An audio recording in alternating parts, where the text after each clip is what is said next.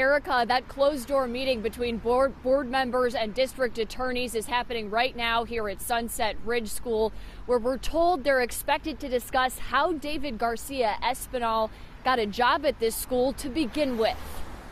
David Garcia Espinal has a record, a record that should have prevented him from walking through these doors.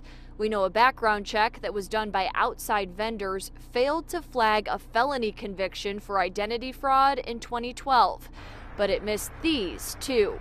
An incident in 2010 when he was found taking pictures of women going to the bathroom in a Northbrook movie theater. And again in 2012 when he admitted to Glenview police he'd entered the women's restroom at least twice to masturbate.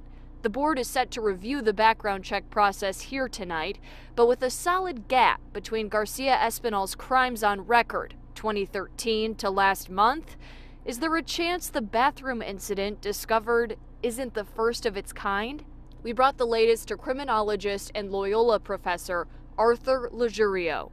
The only way this behavior stops is if a person is incapacitated, either locked up in jail or prison, or receives in depth therapy. He calls the behavior compulsive and says it's not likely Garcia Espinal was on the straight and narrow between his reported crimes and what he's accused of here.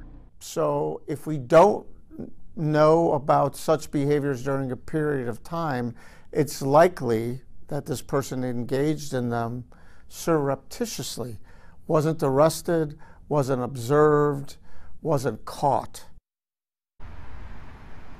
Now, again, this is a closed door meeting happening now at Sunset Ridge School, but there is a public comment expected to happen here. And while we're told that some parents are pushing others to stay quiet, we will be here and continue to gather the very latest and update this story.